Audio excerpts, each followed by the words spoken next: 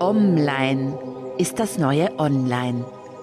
Hallo, ich bin Webveteranin und Digital Detox Pionierin Anitra Egler. Hand aufs Herz. Macht's dich glücklich, wenn du siehst, wie vermeintlich glücklich das Leben deiner Ex-Partner auf Social Media weitergeht? Hebt's deine Stimmung, wenn du in den Accounts von Boulevardmedien liest, welcher Tinder-Killer jetzt als Uber-Fahrer sein Unwesen treibt? Wenn du sagst, ja, also solche Accounts und ganz besonders die von meinen Ex-Partnern, die machen mich einfach glücklicher, dann kannst du dir den heutigen Screen-Life-Balance-Tipp ersparen. Wenn du sagst, nee, ehrlich gesagt, also die News von meinen Ex-Partnern und auch die News von ein paar anderen Leuten, insbesondere auch die von ein paar News-Accounts machen mich nie glücklich, dann bleib einfach dran. Let's go online. Dass wir ständig dieses Leben der anderen weiterverfolgen müssen, dieses, dass es nie vorbei ist im digitalen, das ist Fluch und Segen zugleich.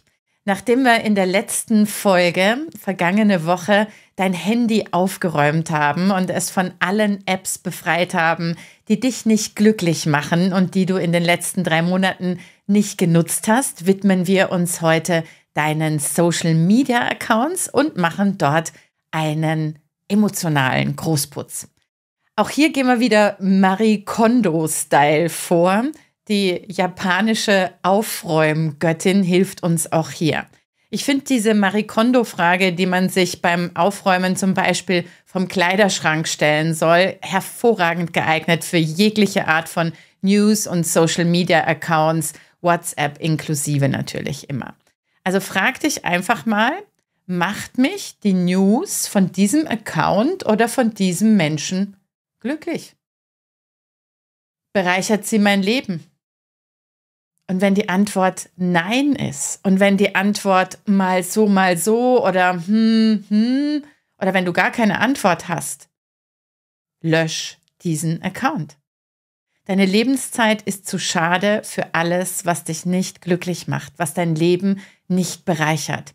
Social Media Accounts rauben uns jede Menge Lebenszeit.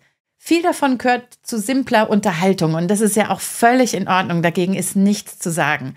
Aber die Accounts von Ex-Partnern oder noch schlimmer, die Accounts der neuen Partner von Ex-Partnern, die gehören definitiv nicht zu den Zutaten dessen, was dein Leben glücklicher macht. Also ist mein liebevoller Tipp für dich heute, mach mal emotionalen Social Media Großputz, lösche sämtliche Accounts, die dich nicht glücklich machen und blockiere Accounts, die dich nicht glücklich machen, wenn blockieren die einzige Möglichkeit ist, diesen Kontakt abzubrechen. Dann sind wir uns mal ganz ehrlich, dieses ich will nur mal ganz kurz gucken, so in meinen archivierten WhatsApp-Chats, wer hat eigentlich ein neues Profilbild? Oh, ein Ex-Partner hat ein neues Profilbild. Oh, da ist ja die neue Lebenspartnerin oder der neue Lebenspartner mit drauf oder dieses Reininterpretieren von irgendwelchen Filmen in kryptische Statusmitteilungen, das Verfolgen der Stories von Menschen, die vorgeben, dass ihr Leben wesentlich schöner und wesentlich glücklicher ist als deins. In Wirklichkeit weißt du, dass es eigentlich nicht stimmt. Trotzdem zieht's einen runter. Also ich meine jetzt diese ganzen Top-Influencer. Frag dich doch da mal wirklich, welche News von welchem Account bringen dich weiter im Leben? Welche heben deine Stimmung, anstatt dir ständig vor Augen zu führen, dass dein Leben anscheinend viel weniger erfolgreich, glücklich und glamourös ist, weil du jetzt gerade nicht auf den Malediven bist und nicht Werbung für irgendein Produkt machst, das du in Wirklichkeit gar nicht brauchst.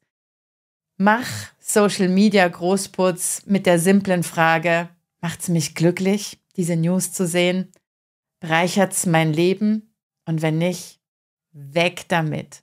Fühl dich befreit und befrei dich davon. Und einen weiteren Tipp hierzu noch, gerade was Ex-Partner betrifft oder Menschen, die du einfach nicht mehr in deinem Leben haben möchtest, lösch die Kontakte.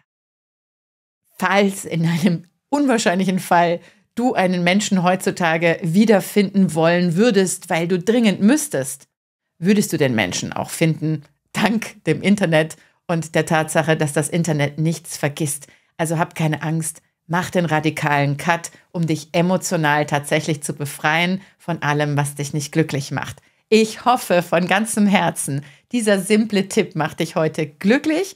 Wenn du mehr von so einfachen Tipps haben möchtest mit Sofortwirkungscharakter für deine Screen-Life-Balance und mit einem schönen, gesunden Digital Detox-Faktor, dann lad dir doch meine Digital Detox Challenge runter. 30 Tipps für 30 Tage ein super Geschenk auch für Freunde, Kollegen, Familie. Ich habe ein kostenfreies E-Book zu dem Thema für dich zusammengestellt. Es sind 14 oder 15 Seiten mit allem, was du dafür brauchst. Viel Spaß heute beim emotionalen Social Media und News Putz und bis nächsten Mittwoch. Mach's gut. Bis dann. Sei glücklich. Tschüss. Das war der Podcast von Anitra Eckler. Vielen Dank fürs Zuhören und bis zum nächsten Mal. Let's stay online.